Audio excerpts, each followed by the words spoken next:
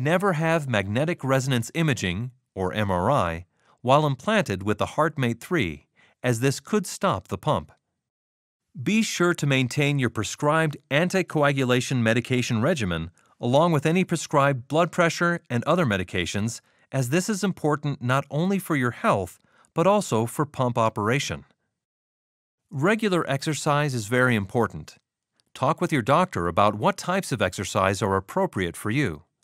However, you should not play contact sports or participate in activities that involve jumping, as they could damage your HeartMate 3 LVAD.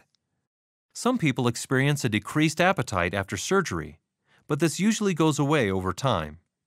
If you feel full quickly, try eating a number of small meals more frequently. A well balanced diet not only helps you recover faster from your surgery, but also helps maintain your health. Talk with your doctor about when you can resume sexual activities. Birth control will be recommended for women of childbearing age who are implanted with a HeartMate 3, as pregnancy is contraindicated. When sleeping, you must always be attached to the mobile power unit. This is extremely important because you may not hear the system controller's battery alarms if you fall asleep while connected to battery power. Another sleeping tip is to always prevent pressure or pulling on the driveline, especially when sleeping on your side. Be aware that the controller can become warm if it's placed under the covers.